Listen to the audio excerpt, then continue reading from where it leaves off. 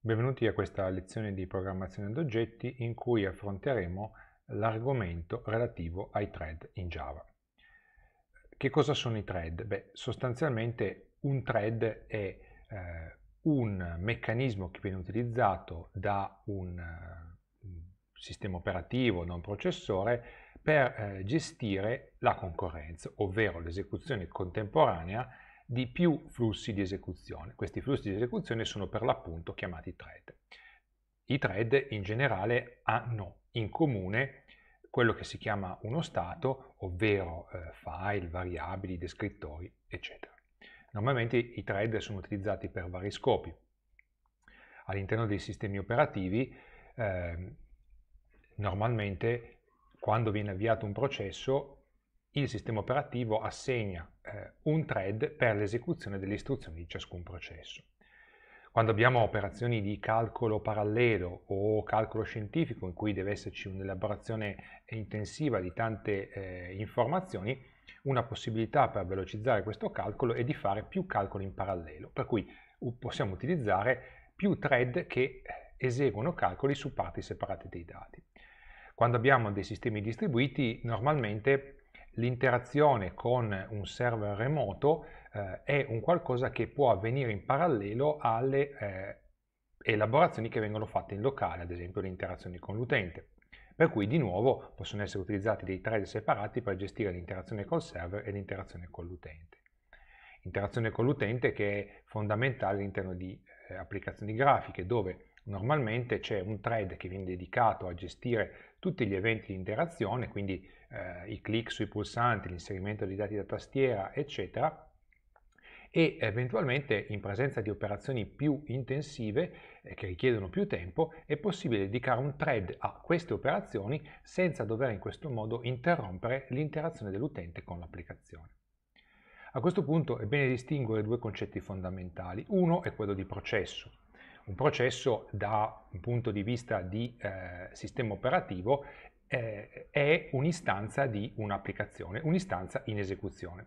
Quindi quando viene lanciata un'applicazione, un sistema operativo eh, associa a un processo, attiva un processo e gli associa eh, uno spazio di memoria, spesso si tratta di memoria virtuale, eh, il codice, quindi il codice da eseguire per l'applicazione stessa, eh, uno spazio di dati e eventualmente delle risorse del sistema operativo, quali ad esempio i file. All'interno di un processo poi sono contenuti uno o più thread, sicuramente almeno uno che è quello che viene avviato dal sistema operativo all'inizio per eseguire eh, le operazioni del processo stesso partendo da quello che normalmente viene chiamato un entry point. Eh, l'entry point è normalmente eh, la funzione main in C piuttosto che il metodo main in Java.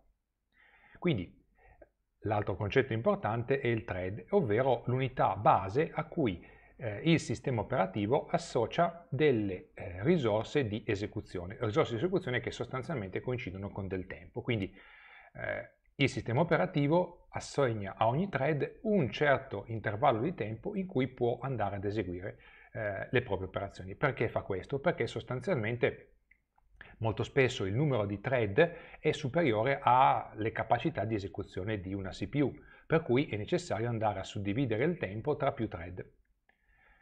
Quindi eh, quando ehm, ho più thread che possono essere eseguiti, il sistema operativo andrà a sceglierne uno o più in base alle capacità di esecuzione effettiva della CPU e eh, assegnerà un intervallo di tempo. Terminato l'intervallo di tempo, eh, il sistema operativo andrà a reclamare eh, le risorse, quindi fermerà l'esecuzione del thread e passerà l'esecuzione a un altro thread. Ovviamente è possibile avere più thread che eseguono contemporaneamente lo stesso frammento di codice. Eh, ovviamente ogni thread avrà eh, proprie risorse locali, ad esempio quando io ho due thread che eseguono eh, lo stesso metodo, ogni thread avrà una propria copia delle variabili locali.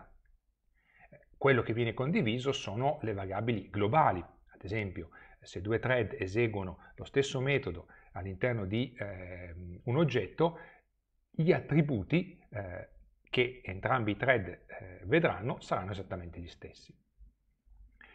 L'avere più thread eh, che vengono eseguiti dà sostanzialmente la possibilità di eseguire quello che è eh, il multitasking. Il multitasking che può voler dire due diverse cose. Da un punto di vista dell'utente è la capacità di vedere eh, la nostra applicazione svolgere più eh, task, più compiti contemporaneamente. Per cui io posso andare a editare un file mentre eh, lo sto salvando. Da un punto di vista di eh, sviluppatori, i thread ci permettono di andare a ottenere un multitasking che significa nell'andare a svolgere più compiti contemporaneamente, alcuni magari non direttamente in interazione con l'utente. Quindi il multitasking ci permette di assegnare diverse risorse di esecuzione, quelle che di solito vengono chiamate slice, ai thread e normalmente in maniera eh, cosiddetta preemptive ehm, il sistema operativo quando eh, è terminato il tempo di esecuzione, sostanzialmente ferma un thread e eh, assegna l'esecuzione a un altro thread. È anche possibile che un thread prima di terminare la sua slice termini l'esecuzione perché eh, ha finito quello che doveva fare, oppure un thread si può fermare prima della fine della propria slice eh, di tempo perché è in attesa dell'esecuzione di una qualche operazione di input-output. Ricordiamoci il concetto di gerarchia della memoria, quando io accedo a un file su disco, questa operazione è un'operazione molto lunga rispetto alle dimensioni della slice, che normalmente sono di pochi millisecondi. Per cui il thread che richiede un'operazione di input-output normalmente viene messo in attesa eh, si lascia eseguire un altro thread, nel frattempo viene svolta l'operazione di input-output col disco che richiederà del tempo più slice probabilmente, dopodiché quel thread di nuovo avrà l'occasione di andare a eh, elaborare i dati letti dal disco. C'è anche la possibilità di avere thread con eh, livelli di priorità diversi, quindi appena c'è un thread con priorità più alta, automaticamente quelli con priorità più bassa vengono fermati in modo da dare la possibilità eh, a questo, con la priorità più alta, di essere eseguito. Eh, normalmente quando io ho ehm, CPU moderne eh, non ho la possibilità di eseguire soltanto un thread per volta, ma più di uno e quindi eh, effettivamente quello che ottengo è un'esecuzione realmente parallela di più compiti. Ovviamente, come dicevo prima, il numero di thread normalmente è più elevato eh, di quelli che sono i nuclei, i core eh, delle CPU, per cui avere questi ehm, slide, queste slice di tempo abbastanza ridotte sostanzialmente mi dà l'impressione di avere tantissimi thread che vengono eseguiti tutti come se fossero eseguiti in contemporanea. Normalmente eh, un thread consuma eh, delle risorse per mantenere le informazioni sui thread, per poter passare da un thread all'altro e quindi eh, generalmente quando io ho tanti thread questi consumano delle risorse. Generalmente le risorse richieste da un unico thread sono molto inferiori rispetto alle risorse richieste da eh, un processo intero, per cui in generale è molto più economico in termini di prestazioni andare ad avere un unico processo con tanti thread piuttosto che avere tanti processi separati. Ovviamente ci sono anche problemi legati al fatto che eh, quando ho più thread che operano sugli stessi dati, ci possono essere dei conflitti, quindi due thread che cercano di scrivere o di leggere, eh, uno di scrivere e l'altro di leggere le stesse eh, aree di memoria, possono dare adito a problemi di eh, conflitti, di cui parleremo eh, poi più avanti. Quindi l'idea è che quando io ho a che fare con eh, i thread, ho sostanzialmente più compiti che vengono svolti in parallelo. Un aspetto importante da tenere presente quando abbiamo a che fare con i thread è che eh, normalmente il comportamento di un programma che ha al suo interno più thread non è deterministico, quindi è difficile eh, sapere esattamente che cosa succede. Per cui eh, se l'esecuzione di un programma ci dà un certo risultato, non possiamo essere sicuri, a meno che non prendiamo opportune precauzioni, che il programma ci dia sempre lo, lo stesso risultato. Per cui io devo andare a mettere in piedi dei eh, meccanismi di sincronizzazione e delle garanzie che eh, mi permettano di eh, fare in modo che il comportamento sia sempre lo stesso. In generale, quando io vado a programmare con i thread, devo ricordarmi che c'è veramente poco di garantito. Quindi sostanzialmente l'ordine con cui vengono fatte le cose normalmente non è sempre lo stesso. Quindi se eseguo lo stesso programma più volte con lo stesso input, avrò output diversi, che dipende dall'ordine con cui vengono eseguiti i thread. Per cui il meccanismo di assegnazione eh, delle slice di tempo ai thread varia di volta in volta.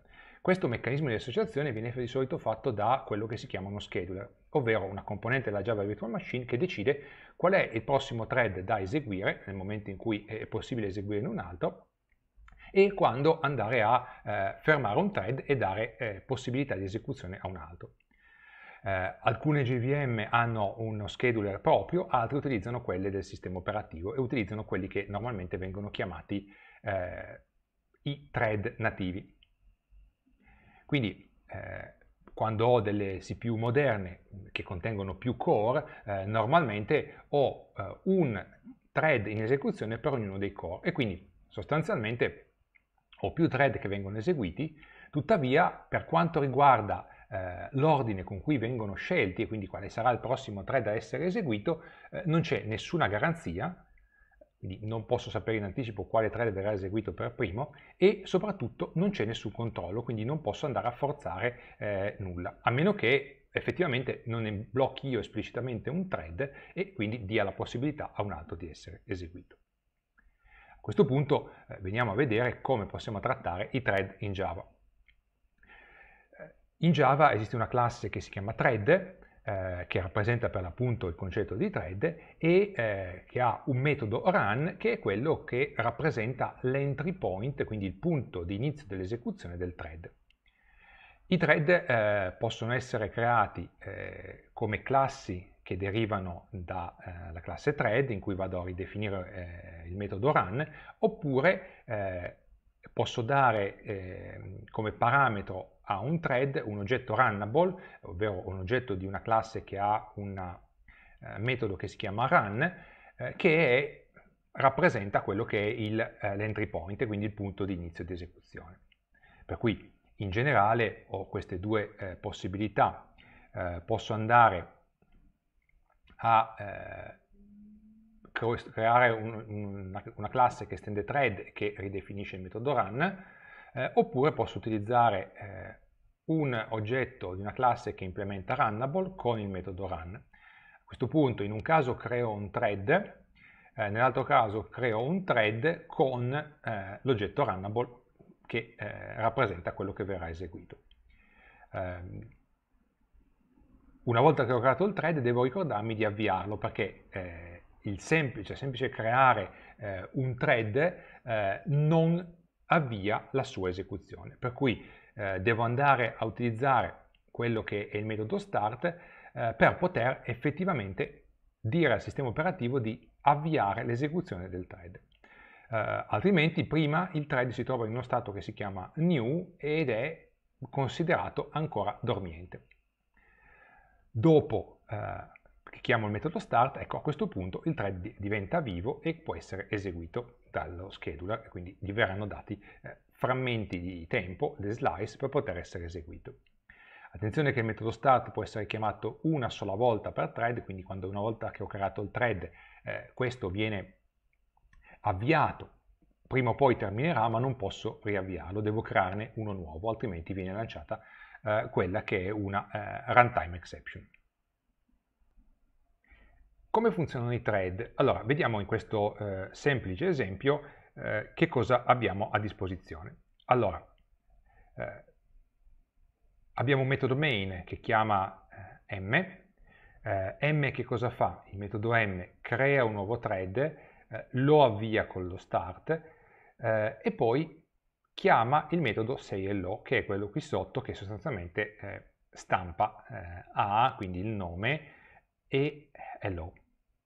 Il thread che io vado a creare eh, sostanzialmente è un thread di questa classe myThread il cui metodo run chiama anche lui il metodo sayLo, lo stesso di prima, però gli passa t. Quindi sostanzialmente eh, il thread principale, quello che viene avviato dal sistema operativo all'avvio del processo, eh, andrà a chiamare sayLo con main, mentre invece il nuovo thread che è stato creato ed avviato qua eh, andrà a chiamare sayLo passando eh, il, la stringa t. Quindi cosa avviene passo passo? Allora, all'inizio abbiamo eh, il nostro programma eh, con un thread principale che non viene ancora avviato. Eh, nel momento in cui viene avviato questo andrà ad eseguire il metodo main. Il metodo main chiamerà a sua volta eh, l'altro metodo m, quindi qui abbiamo la chiamata del metodo n, questo se volete è eh, lo stack di chiamata relativo al thread principale. Eh, m che cosa fa? Sostanzialmente andrà a creare un nuovo thread, t. Eh, questo thread per il momento è, è fermo, non sta eseguendo nulla e quindi non è stato fatto ancora nulla. A questo punto il prossimo passo sarà quello di avviare il thread t. Attenzione perché a questo punto eh, inizia eh, il comportamento che è non necessariamente deterministico. Perché? Perché io non so se eh, il thread T, una volta avviato, eseguirà direttamente run chiamando CLO, oppure se eh, invece il thread principale, eh, prima che il, metodo, ehm, che il nuovo thread eh, possa effettivamente eseguire eh, qualunque istruzione, chiami lui direttamente il metodo CLO. Eh, una possibile esecuzione è quella in cui io il metodo, eh, eh, scusate, il nuovo thread che eh, esegue il metodo run eh, del proprio oggetto thread eh, e chiama CLO. È chiaro che il CLO chiamato dal thread principale o dal thread T possono avere due ordini diversi, quindi io avrò in alcune esecuzioni di questo codice main due punti hello, nell'altro caso avrò t due punti hello per primo. Questo, dato questo frammento di codice in cui non c'è nessuna sincronizzazione esplicita tra i due thread, è incontrollabile ok? e non è predicibile. Vediamo qualche altro piccolo esempio di thread. Eh, in questo caso io creo una classe counter che estende thread eh, e eh, questa classe ha un eh, metodo run che sostanzialmente eh, fa un ciclo da 0 al valore num eh, e va a stampare name, quindi il nome dell'oggetto, eh, e il numero.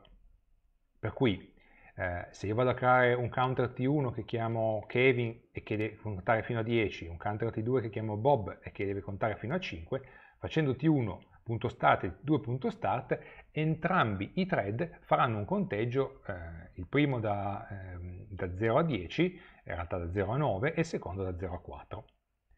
L'ordine con cui compariranno le stampe dei due thread, Kevin e Bob, ovviamente non è predicibile, esattamente come prima. Eh, altra variante eh, in cui invece di andare a fare una classe che estende thread, vado a creare un oggetto counter che implementa Runnable, eh, sostanzialmente analogo a prima, eh, solo che in questo caso eh, il metodo eh, run che è uguale a prima si trova in una classe che non implementa thread, eh, ho due variabili private, quindi il numero e eh, l'etichetta da stampare.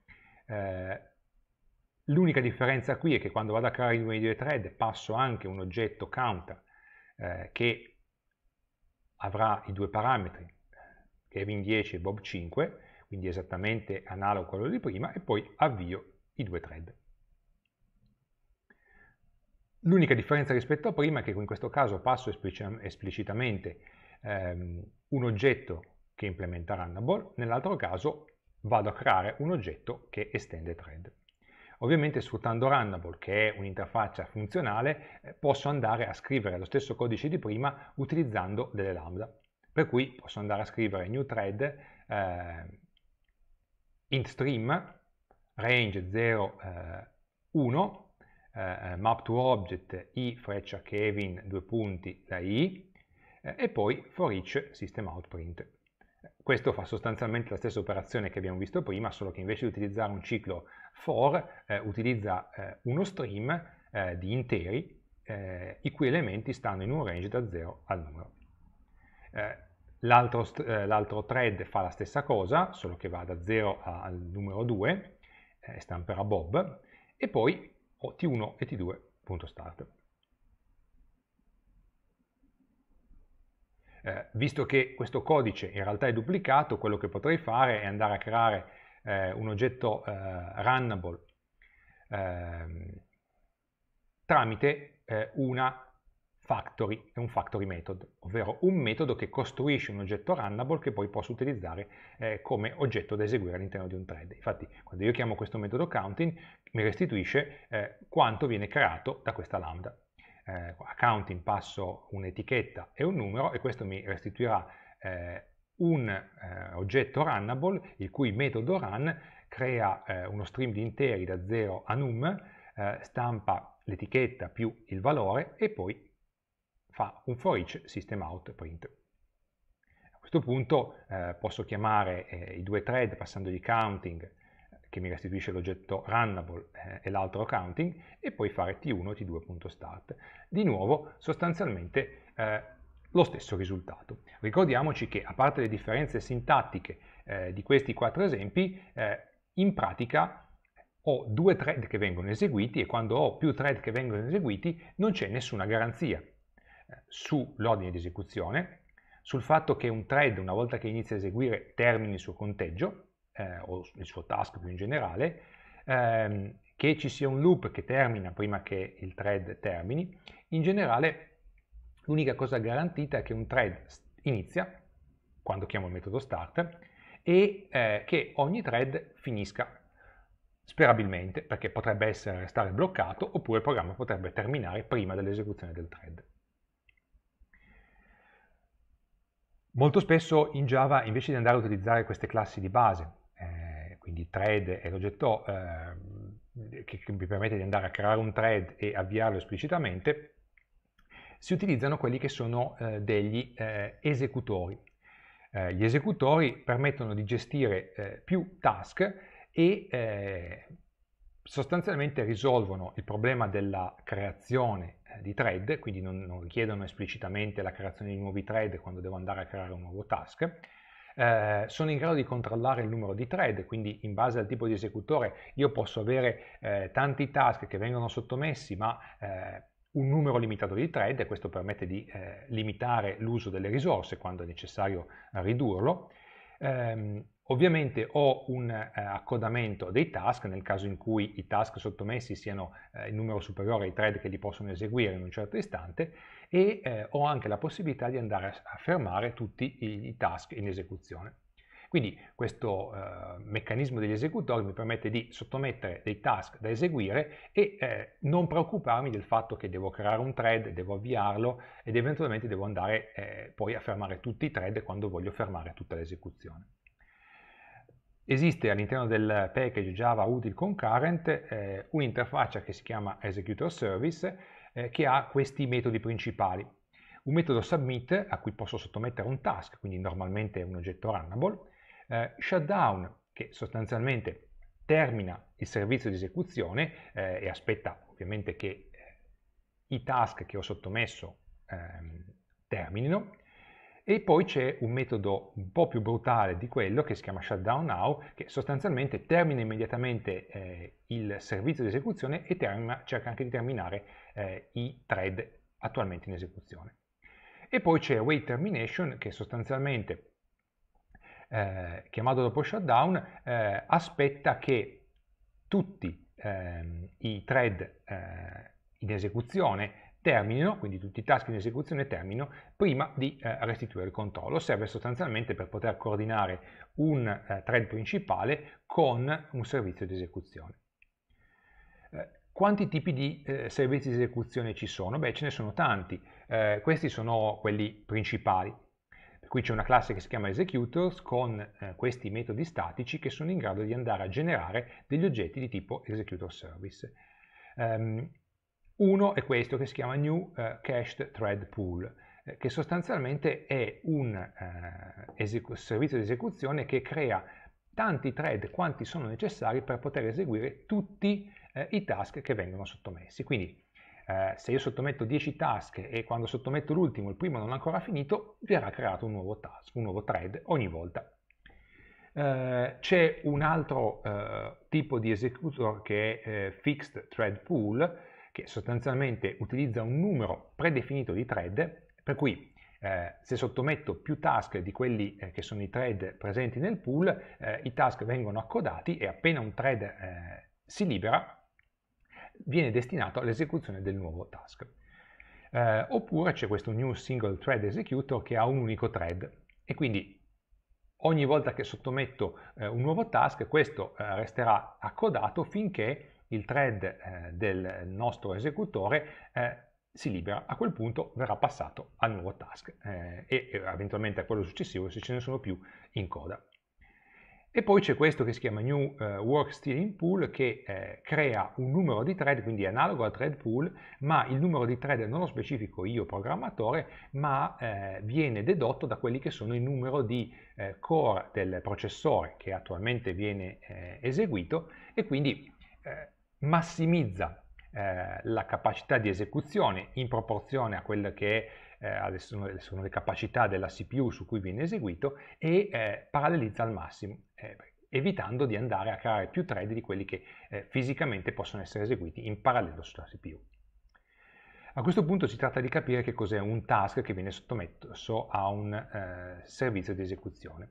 I task normalmente possono essere di due tipi, possono essere degli oggetti di tipo runnable, quindi c'è un metodo run, oppure eh, possono essere degli oggetti di tipo callable, Ehm, il problema del metodo run è che è un metodo che restituisce void e quindi eh, non è in grado, in maniera almeno semplice, di andare a costruire un risultato. Mentre invece eh, la classe callable, l'interfaccia callable, ha un metodo che si chiama call che restituisce un oggetto di tipo T, quindi è un tipo generico. Eh, a questo punto che cosa succede? Quando io vado a sottomettere un ehm, oggetto di tipo callable, il mio servizio di esecuzione mi restituisce quello che è un oggetto di tipo future. Perché? Perché nel momento in cui il metodo submit viene chiamato e restituisce un valore, non è detto che il servizio, eh, il task, sia già eseguito. Per cui l'oggetto future è quell'oggetto eh, che sarà destinato a contenere il risultato della chiamata call, che però inizialmente non sarà presente perché eh, sostanzialmente il metodo call non è ancora terminato. Per questo motivo esistono due metodi all'interno dell'oggetto future, eh, isDone che mi permette di andare a verificare se eh, il calcolo è completato e quindi dentro l'oggetto future il, è stato messo il valore eh, di tipo t creato dal metodo call e il metodo get che invece è quello che mi permette di andare effettivamente a leggere il valore dell'oggetto di tipo t.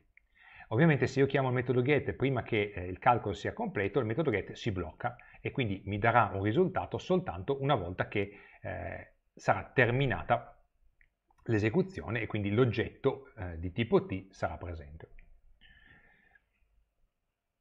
Per cui, ad esempio, ehm, io posso andare a creare eh, dei runnable con, un oggetto, con il metodo counting che abbiamo visto prima, nella factory, eh, posso creare un oggetto di tipo executor new fixed pool con due thread e poi posso fare un submit di counting Kevin 10 e submit di counting Bob 5. Questo sostanzialmente mi avvia eh, i due thread, non appena faccio submit eh, il thread viene creato e avviato eh, e quindi ho il conteggio di prima, eh, uno da 0 a 9 e l'altro da 0 a 4. Eh, ovviamente io posso avere anche eh, oltre a oggetti runnable, oggetti tipo callable. Per cui, eh, ad esempio, se io ho eh, questo executor service che è di tipo new cache thread pool, ovvero eh, un executor che è in grado di crearmi tutti i thread necessari, e io un oggetto callable eh, che restituisce un valore long eh, che è, eh, si chiama life universe everything, che è un oggetto che ha questo metodo callable che sostanzialmente aspetta eh, un certo numero eh, di eh, milioni di anni e poi restituisce 42. Quando io chiamo eh, il mio eh, executor service deepthought e eh, faccio un submit di questo oggetto callable life universe everything, questo mi restituisce un oggetto future. L'oggetto future inizialmente non avrà nulla finché non finisce questo sleep di un certo periodo di tempo, e quindi quando vado a chiamare eh, answer.get eh, questa chiamata si blocca. A un certo punto, eh, finito questa attesa, eh, il mio eh, metodo eh, call restituirà il valore e quindi get verrà sbloccato e andrò a mettere il risultato all'interno di questo oggetto di answer e quindi potrò stamparlo finalmente.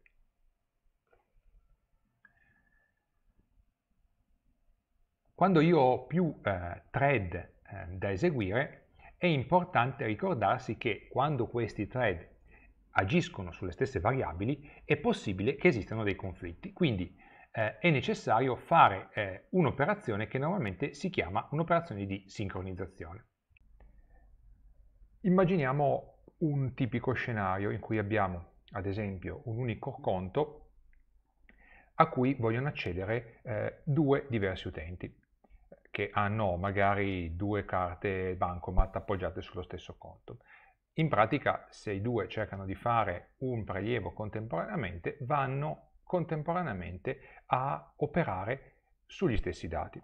Quindi se noi abbiamo i nostri eh, due minion che accedono alla classe eh, account, eh, di più allo stesso oggetto della classe account, entrambi cercano o possono cercare di eh, accedere allo stesso metodo withdraw e quindi fare la stessa operazione di eh, prelievo.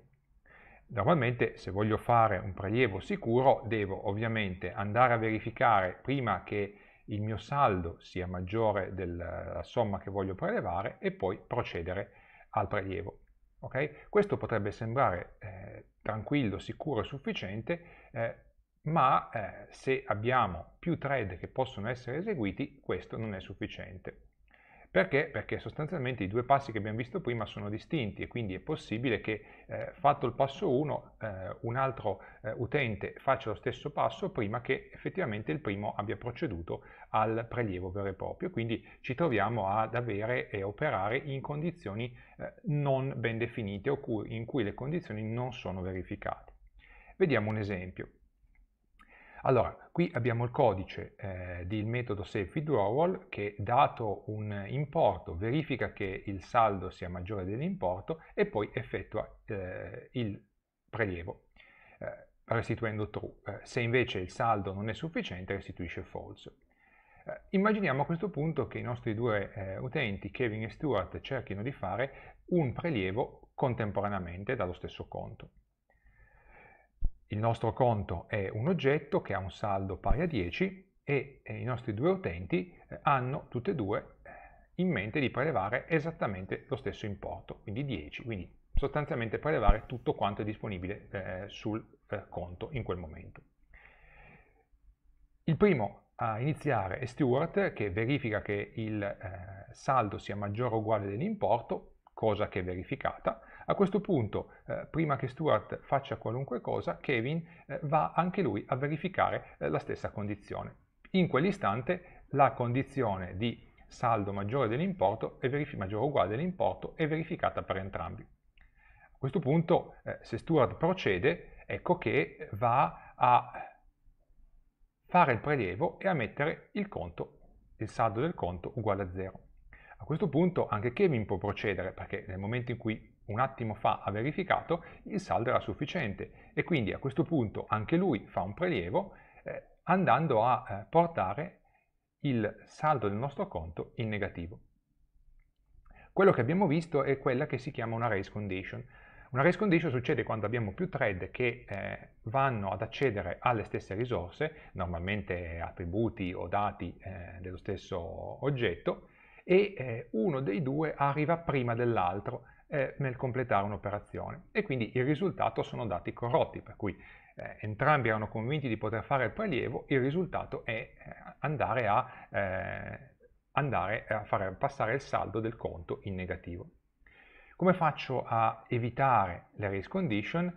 Eh, l'idea è che devo andare a considerare i due passaggi, quindi la verifica del saldo e il prelievo come un'entità unica, quindi come una unica operazione che di solito viene chiamata un'operazione atomica. Un'operazione atomica normalmente è eh, indivisibile, quindi eh, nel momento in cui un thread fa un eh, controllo sul saldo, eh, deve poter fare successivamente anche il prelievo senza che nessun altro thread possa intervenire nel frattempo operando sul conto.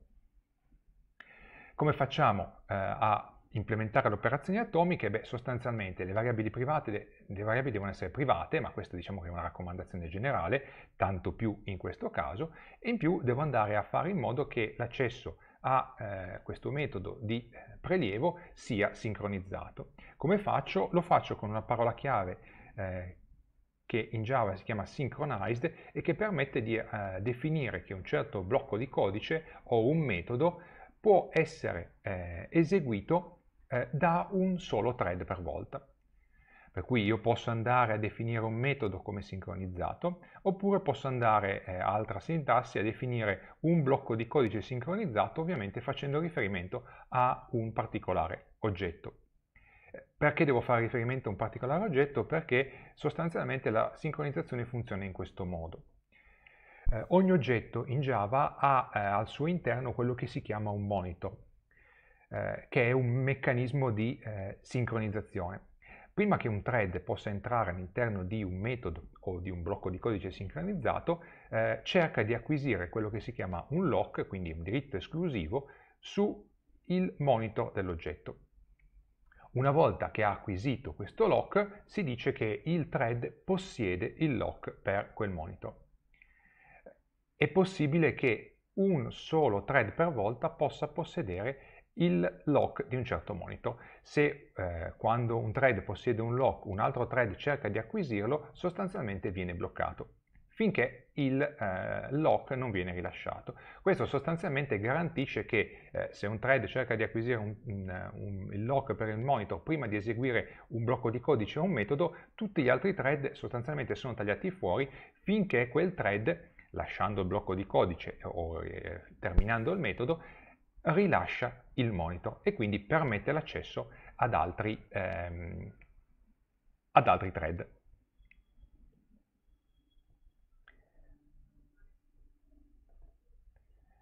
Quindi eh, normalmente che cosa faccio? Eh, faccio un synchronized eh, prima della dichiarazione del metodo e quindi automaticamente quando il thread entrerà in questo metodo eh, cercherà di acquisire il lock sul monitor e poi lo eseguirà. Eh, qual è il monitor? È sostanzialmente dell'oggetto su cui viene invocato questo metodo. Per cui sostanzialmente questa dichiarazione equivale a mettere un synchronized this all'inizio del metodo che racchiuda tutto il corpo del metodo. Ovviamente io posso andare a fare dei metodi sincronizzati anche statici, in questo caso la sincronizzazione avviene sull'oggetto classe eh, che corrisponde al metodo ehm, che sto cercando di sincronizzare. Quando è necessario sincronizzare? Beh, sostanzialmente quando ho più variabili che possono, più thread che possono accedere alla stessa variabile locale e eh, questo eh, accesso può andare in conflitto sostanzialmente. Se tutti leggono eh, direi che non c'è problema. Se invece ci sono alcuni che leggono e altri che scrivono, questo può andare a generare dei conflitti, per cui eh, devo andare a pensare alla sincronizzazione. Vediamo un caso molto semplice. La classe eh, nameList sostanzialmente eh, contiene eh, una lista di nomi e due metodi, uno per aggiungere dei nomi e l'altro per andare a prendere il primo nome. Per prendere il primo nome sostanzialmente si verifica che effettivamente siano presenti dei nomi e poi si chiama il metodo remove. Se non ci sono nomi viene restituito empty. Eh, cosa succede se due thread cercano di andare contemporaneamente a eh, fare un remove eh, di eh, un nome da una lista che ne contiene uno solo? Beh, eh, quello che succede andando ad avere una name list, aggiungendo un nome e poi avendo due oggetti, che, ehm, due scusate, metodi callable ehm, che vengono aggiunti a due thread, due executor service di questo tipo, il risultato è che eh, dati questi due future, questi due future potranno contenere alla fine eh, allora, hello più empty, che è quello che io mi aspetterei, quindi uno dei due thread riesce a prelevare il nome, l'altro non riesce a prelevare nulla. Però talvolta ho due volte eh, due thread che riescono entrambi a prelevare il primo nome. Oppure un thread che prende hello e l'altro che prende null, quindi non si sa bene da dove arrivi. Oppure ho un index out of bound exception, per cui un, un thread riesce a prelevare, l'altro cerca di fare un remove, ma nel frattempo eh, la situazione è corretta e eh, trova che non ci sono più altri elementi, oppure ho un hello più un null pointer exception. Ovviamente eh, l'index out of bound è diciamo, quello più ragionevole, nel senso che eh, se uno ha controllato, cerca di fare remove, nel frattempo l'altro gliel'ha tolto, è corretto che ci sia un index out of bound exception. Eh, il doppio hello e l'O più null oppure il null pointer exception invece sono problemi dovuti a eh, delle eh, condizioni di race condition direttamente all'interno della linked list. Come posso fare? Beh, una possibile soluzione è quella di andare a utilizzare questo metodo synchronize list che si trova in collection che sostanzialmente mi crea un wrapper eh, attorno alla lista eh, che eh, mi dà un accesso sincronizzato al contenuto della lista. Attenzione che anche con un metodo sincronizzato io ho ancora una race condition qui, per cui non è possibile che due thread entrino contemporaneamente dentro remove, come non è possibile che due thread entrino contemporaneamente dentro size, però è possibile che un thread esegua eh, il controllo, eh, un altro lo faccia e poi due thread cerchino in ordini diversi di, di entrare dentro remove. Per cui eh, i metodi eh, definiti all'interno dell'interfaccia collection, tipo synchronize list, synchronize collection, synchronized map, eccetera, vanno a creare quelli che sono dei eh, contenitori thread safe, ovvero dei contenitori in cui tutti i metodi sono sincronizzati. Quindi è impossibile che i due thread cerchino di fare eh, un'operazione all'interno del nostro contenitore contemporaneamente.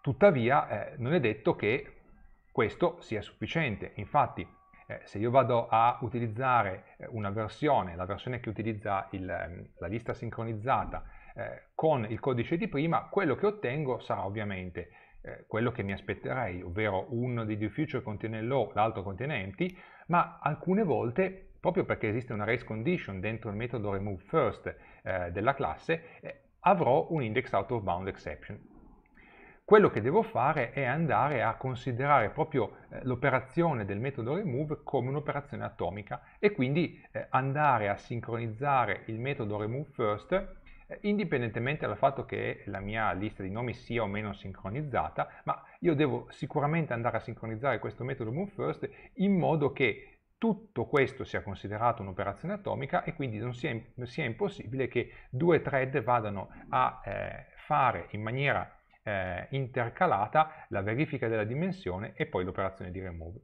Quindi in questo caso finalmente eh, usando la versione con il metodo sincronizzato tutte le volte che andrò a eseguire questo codice avrò ovviamente uno future che mi restituisce low e l'altro che mi restituisce empty. Attenzione che l'uso dei eh, metodi sincronizzati può, può, portare a quelle che sono delle condizioni di deadlock, ovvero delle condizioni in cui due thread cercano di ehm, acquisire delle risorse eh, e eh, uno è bloccato nell'attesa che l'altro rilasci una risorsa e viceversa e quindi nessuno dei due riesce a liberarsi eh, il risultato è che entrambi i thread sono bloccati e non riescono ad acquisire le risorse, sostanzialmente i monitor per entrare all'interno di un'area eh, sincronizzata. Eh, un esempio molto semplice è quello che vediamo qua, Immaginiamo di avere un metodo read che acquisisce prima la risorsa A, poi la risorsa B e dopodiché va a eh, restituire la somma del valore delle due risorse. E un metodo write che acquisisce prima la risorsa B e poi la risorsa A e eh, va a scrivere i valori delle due risorse. Ora, ovviamente eh, due metodi scritti così sono palesemente eh, pericolosi, il punto è che è possibile che l'acquisizione delle risorse A e B venga fatta non in maniera così eh, semplice, ma magari ci sono chiamate eh, tra eh, l'acquisizione di una risorsa e l'altra e per cui io non li vedo scritti uno sopra l'altro in questo modo. Il risultato è che eh, posso avere dei deadlock e quindi eh, è opportuno fare attenzione quando ci sono eh, delle ehm, risorse sincronizzate a eh, evitare questo tipo di interazioni. I metodi che abbiamo visto parlando di sincronizzazione, quindi sostanzialmente la parola chiave synchronized, viene utilizzata per andare a eh, evitare eh, problemi di race condition e quindi di eh, risultati impredicibili. Eh, un altro approccio che possiamo utilizzare, eventualmente in combinazione, è quello di cercare di coordinare eh, diversi thread in modo che eh, questi possano accedere in maniera ordinata a delle risorse eventualmente condivise. Per fare questo possiamo utilizzare eh, tre metodi fondamentali che sono presenti nella classe Object e che sono Wait, Notify e Notify All. Eh, che cosa fanno questi metodi? Beh, allora, il primo, eh, Wait, permette a un thread di mettersi in attesa mh, finché un altro thread lo risveglia e quindi gli permette di proseguire.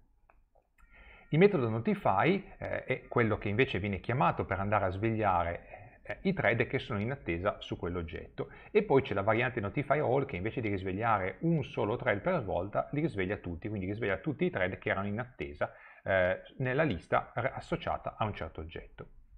Quindi cosa succede? Che un thread che già possiede il lock eh, del monitor di un certo oggetto chiama su quell'oggetto il metodo wait.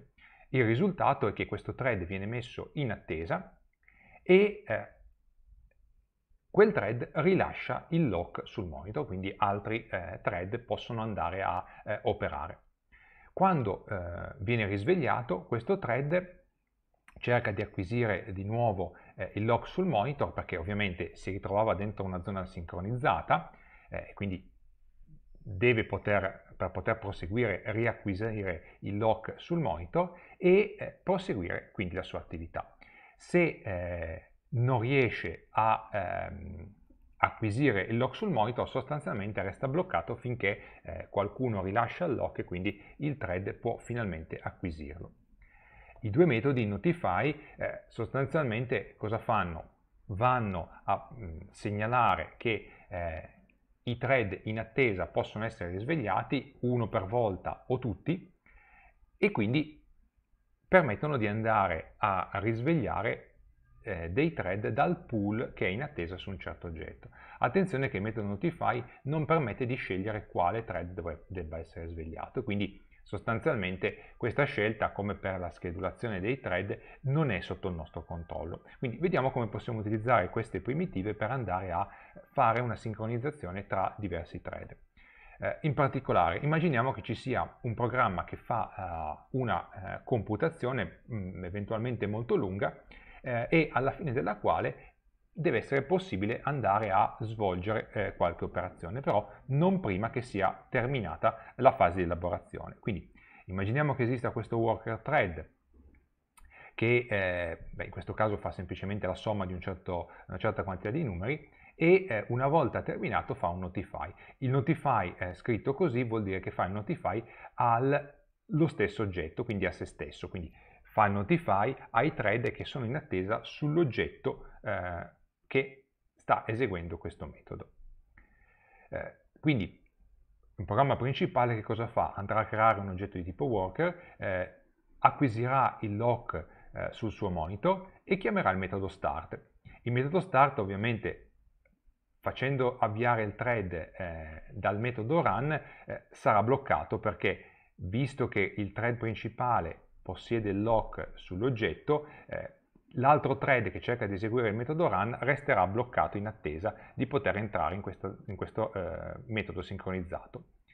Eh, a questo punto eh, cosa viene fatto? Eh, il thread principale si mette in attesa che eh, B, quindi l'oggetto worker, eh, termini e quindi chiama il metodo wait. La chiamata del metodo wait mette sostanzialmente il thread principale in attesa e rilascia il lock eh, sul monitor dell'oggetto B. A questo punto eh, il nuovo thread che era stato creato può finalmente entrare in questa eh, zona sincronizzata eh, perché nessun altro thread possiede eh, più il lock sul monitor e quindi fa la sua operazione. Terminata l'operazione andrà a chiamare il metodo notify. Il metodo notify cosa fa? Sveglia questo eh, thread che era bloccato sulla wait, termina il eh, metodo e quindi sostanzialmente rilascia il lock sul eh, monitor di questo oggetto e a questo punto il thread principale può andare avanti e stampare il risultato della computazione svolta da questo thread eh, iniziale.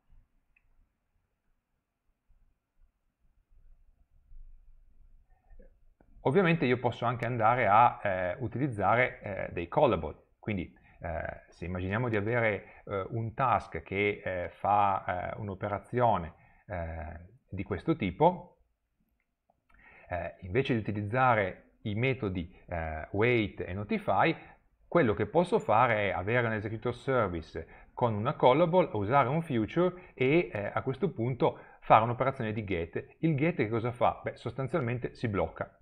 Quindi al suo interno eh, il eh, metodo get eh, non farà altro che eh, andare a ehm, utilizzare le primitive che abbiamo visto prima, quindi eh, wait e poi eh, notify da parte di chi eh, ha finito l'esecuzione per poter andare a effettivamente svegliare chi era in attesa. Quindi in generale io potrei utilizzare i metodi di base wait e notify oppure se semplicemente voglio restare in attesa del risultato eh, posso utilizzare eh, un oggetto future generato da un eh, thread callable senza dovermi preoccupare di chiamare wait e notify, quindi decisamente in maniera più semplice. Quindi questo è uno dei motivi per cui eh, sono stati definiti eh, gli executor service e i future, in modo da non dover andare a manipolare direttamente queste primitive che possono essere eh, potenzialmente eh, complicate e delicate.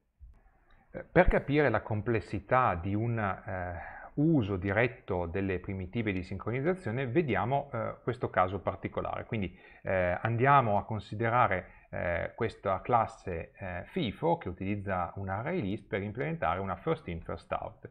abbiamo un array list e abbiamo i due metodi insert ed extract che permettono di inserire ed estrarre gli elementi in, usando la, la policy FIFO, first in first out.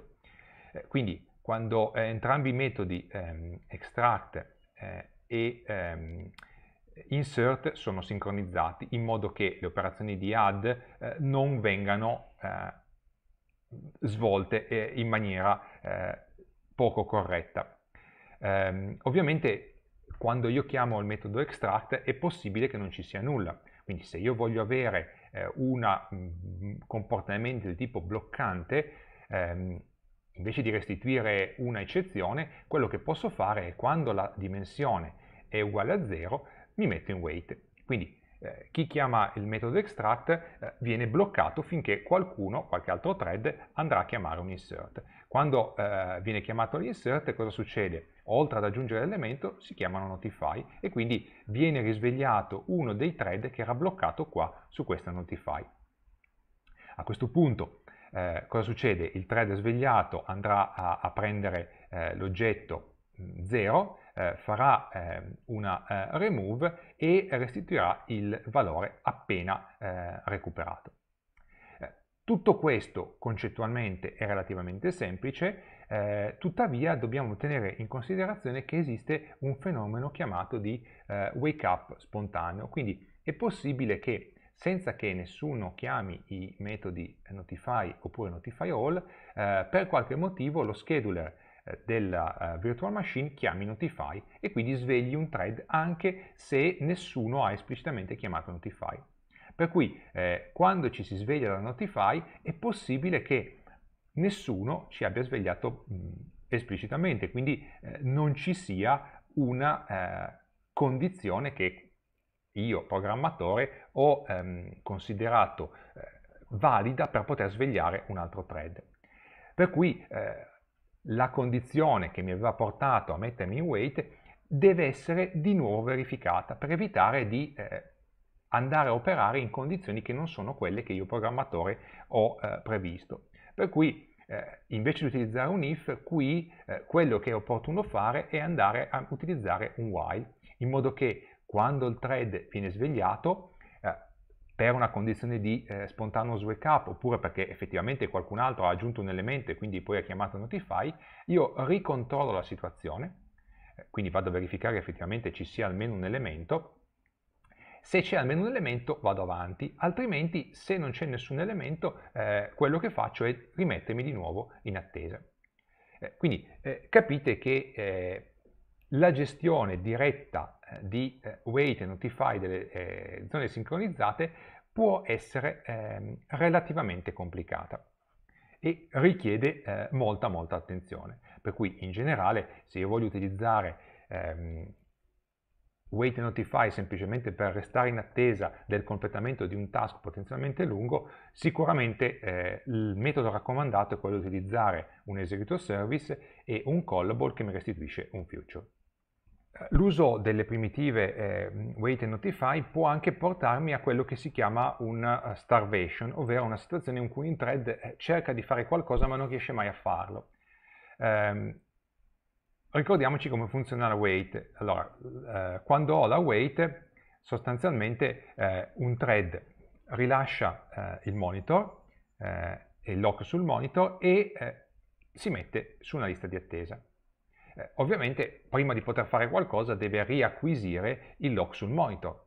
Okay? E quindi deve aspettare che eventualmente altri thread che sono lì, eh, che hanno acquisito il lock, lo rilascino e quindi tocchi a questo thread.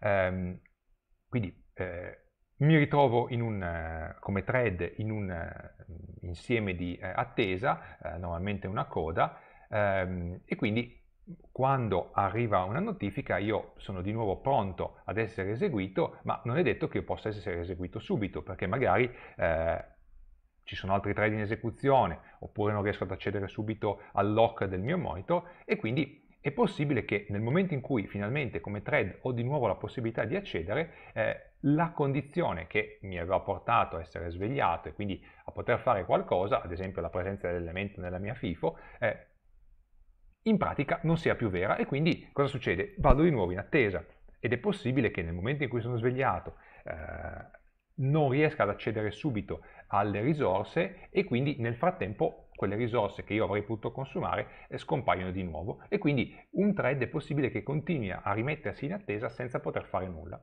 Questa è quella che si chiama normalmente una condizione di starvation e che è possibile eh, se eh, i miei thread non sono combinati eh, correttamente oppure semplicemente se eh, ho molti thread che cercano di eh, acquisire e di consumare risorse prodotte da altri thread. E quindi è di molto difficile cercare di evitare queste condizioni in modo da garantire che ogni thread eh, possa effettivamente svolgere il suo ruolo. Oltre alle primitive di wait notify, eh, in Java è possibile andare a utilizzare delle altre primitive eh, di sincronizzazione che sono sostanzialmente eh, il semaforo, il countdown latch e il cyclic barrier che permettono meccanismi di sincronizzazione un po' più sofisticati, però eh, questi meccanismi di sincronizzazione non sono oggetto ehm, di questo corso, sappiate che esistono eh, e potete utilizzarli in maniera un po' più complicata, ma eh, l'idea è che eh, se avete bisogno di eh, meccanismi di sincronizzazione più complicati, probabilmente eh, il vostro programma è molto più complicato, quindi dovete studiare molto meglio quelli che sono i meccanismi di eh, sincronizzazione tra eh, i vostri thread in modo da garantire che tutto funzioni correttamente.